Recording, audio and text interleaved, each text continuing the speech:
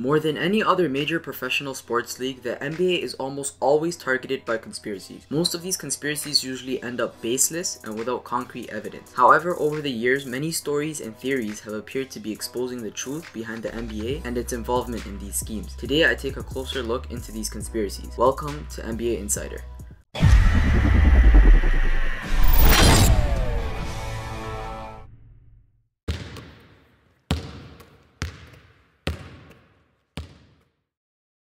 Following the 2016 NBA playoffs, many critics believe that the NBA has been doing things in their favor. You all are probably already aware of Steph Curry's wife, Ayesha Curry, and her outrage towards the league because she herself is one of these critics. She had a lot to say about the NBA being rigged on Twitter. Unfortunately for the league, despite their disregard for her kind words, they can't escape talks that it's involved in fixing things. Even Bill Simmons, one of the most popular media figures in the NBA, has publicly talked about a couple conspiracy theories himself. The idea behind these theories is simple. When you peel back the layers to almost every ridiculous NBA conspiracy theory, you're left with one assumption. All the NBA wants is more money. The bigger conspiracy here, however, is that the NBA mainly plans outcomes for major games to make more money through TV rating. And what leads to higher TV ratings? Star players, big market teams, and dramatic Game 7. So how does the NBA pull this off? A few ways according to conspiracy theorists. Before I begin, I would like to inform you guys that I am not in favor of the thought that the NBA is rigged, but I do believe sometimes things do look a little bit suspicious. I'm just saying this so later on I don't get comments saying things like,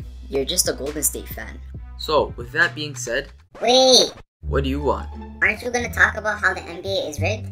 Yeah, that's just what I said I was gonna do before you rudely interrupted me. Oh, I'm so sorry, my fault. I just wanted to make sure everyone knows the NBA is rigged. Help me! Help me! Nigga! Don't worry, he said he's gonna talk about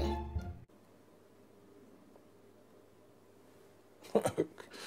Okay. Anyways, like I was saying, here's three stories that prove the NBA is rigged. Now the first of many debates on this topic matter is the NBA's involvement in rigged drafts. The draft has been a source of conspiracy for the NBA for many years. The 1985 draft, the first to use a lottery to determine which team got the number one pick, is the most notorious. Conspiracy theorists think the NBA rigged the lottery in order to send Patrick Ewing to the struggling New York Knicks. It's always good business for the NBA when the team in the biggest TV market ends up with the best player. So sometimes they gotta look out for those teams. The incident of the 19 1985 draft lottery has been focused on so much because it shows potential evidence of NBA officials favoring the New York Knicks. First, the accountant dropped some envelopes cleanly into the lottery ball, except one that gets banged around the rim, creasing its corner. An accident, right? While NBA Commissioner David Stern just happens to pick up an envelope with a creased corner after feeling around in there for a little too long. And of course that envelope just happens to contain the logo of the New York Knicks, allowing them to get the first draft pick. As a result, the Knicks walk away with future Hall of Famer Patrick Ewing, and soon New Yorkers have a reason to watch basketball on TV again. Everyone wins, except the other teams of course. It's important to know that there was no other evidence outside of this allegedly creased paper. As you can see, it's a pretty weak theory, but a lot of people believe it. Ever since that incident, draft conspiracy theories now pop up almost every year. Whenever there's attention around a team and a potential number one pick, people say that the lottery was rigged. Some example in recent years include the 2003 draft where the Cavaliers got the number one pick and Akron native LeBron James, the 2008 draft where the Bulls got the number one pick and Chicago native Derrick Rose, the 2011 2011 draft where the Cavaliers got the number one pick, Kyrie Irving, one year after LeBron left, and the 2012 draft where the New Orleans Hornets got the number one pick, Anthony Davis. In the case of the 2012 draft, an old photo of Davis wearing a Hornets hat two weeks before the draft surfaced as alleged evidence of the conspiracy. All these draft theories were usually shot down by many fans, players, and the NBA themselves, but the NBA isn't doing a good job of hiding their intentions if they really are fixing things. This year, Hall of Famer Dikembe Mutombo tweeted and congratulated the 76ers on their NBA draft lottery win, hours before the allegedly live and unpredictable draw took place. Sure enough, the Sixers did go on to win the draft lottery and now have the number one pick. On the one hand, the Sixers and Mutombo each explained that his tweet was an accident and not an example of Mutombo's knowledge of a predetermined result. On the other hand, isn't that exactly what they would say? There's just too many questions. How could Mutombo have known before the lottery? Did someone tell him beforehand? Will Sam Cassell ever take over planet Earth? Will Anthony Davis's unibrow ever fly off? Find out. Next time on Dragon Ball Z.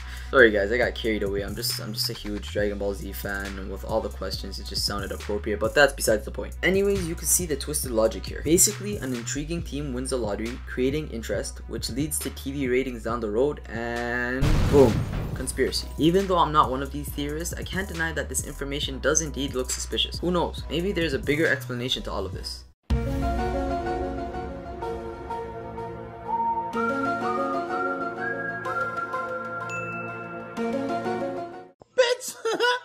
Next up is dirty referees. The vast majority of calls in the NBA are judgment calls. Fouls in the NBA aren't as black and white as touchdowns in football or fair and foul calls in baseball. In addition, there are only a few types of calls where it's even possible to use instant replay. While many want the league to expand its use of replay, it's simply not realistic to correct every moving screen, hand check, and illegal box out by going to the monitors. The fact that you can't absolutely say that the calls are 100% correct or incorrect lends itself to conspiracy theories, and some of the most frequent NBA conspiracies are based on the idea that the referees fix the outcomes of games by intentionally calling fouls on any given team. As I pointed it out before, all of these theories assume that the NBA is corrupt and motivated by TV ratings and money. So the common idea here is that the league rigs games so star players or popular teams win. For example, in game 6 of the 2002 Western Conference Finals, the Lakers were down 3-2 in the series against the Sacramento Kings. They shot 40 free throws, including 27 in the fourth quarter. If the Kings won, the playoffs were over and the NBA would miss out on one more game's worth of Doritos ads. But because the LA Lakers are a money making franchise and the Sacramento Kings are, well, from Sacramento, one disgraced former referee claims that his associates just let the Lakers win. It's not just that one guy's word though. Apparently, there's even video evidence showing the refs calling dumb fouls for the Kings while ignoring stuff like Lakers superstar Kobe Bryant straight up elbowing Mike Bibby in the face. A moment of silence for Mike Bibby's jaw.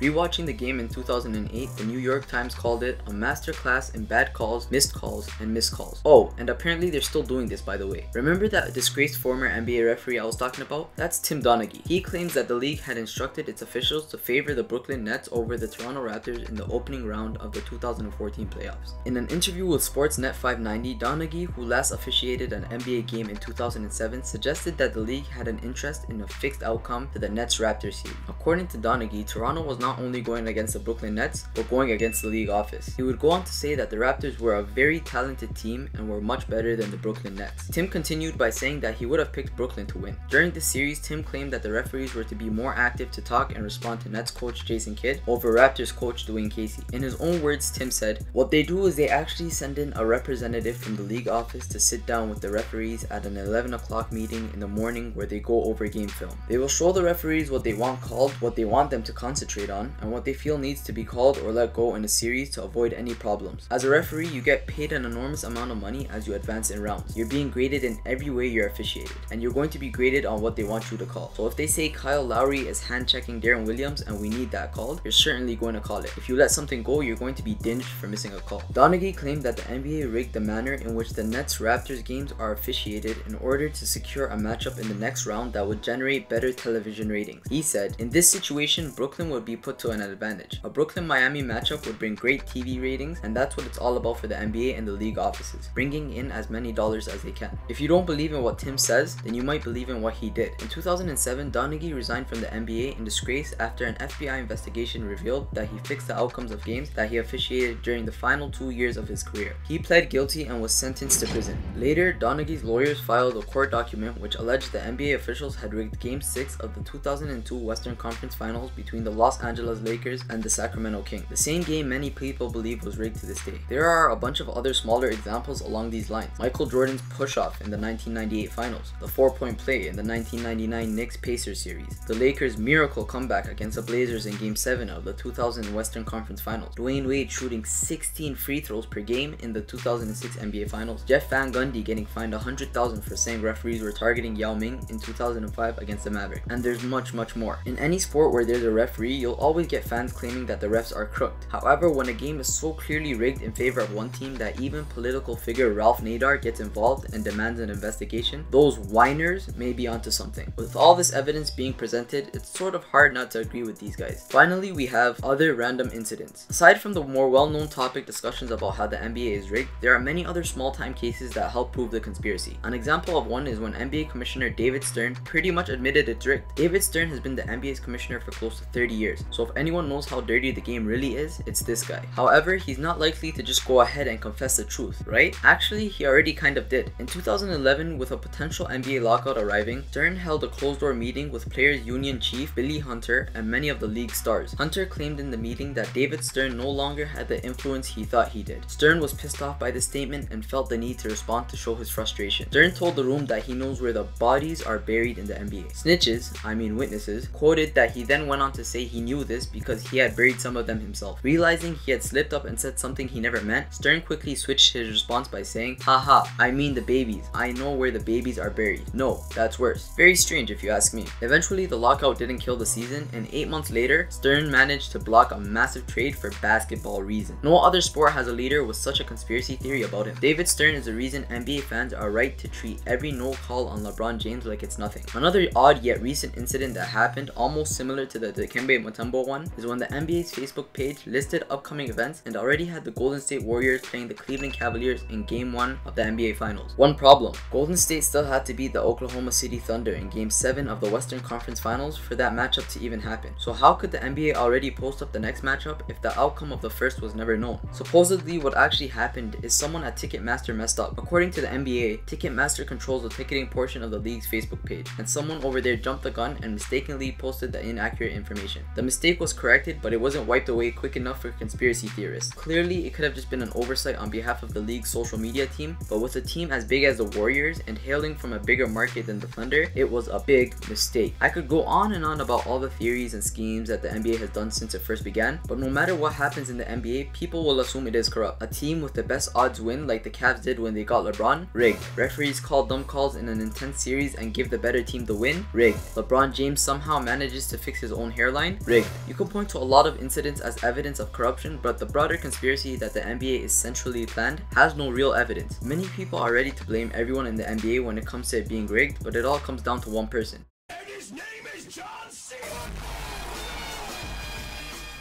Just kidding. No one person is to blame. Or is there?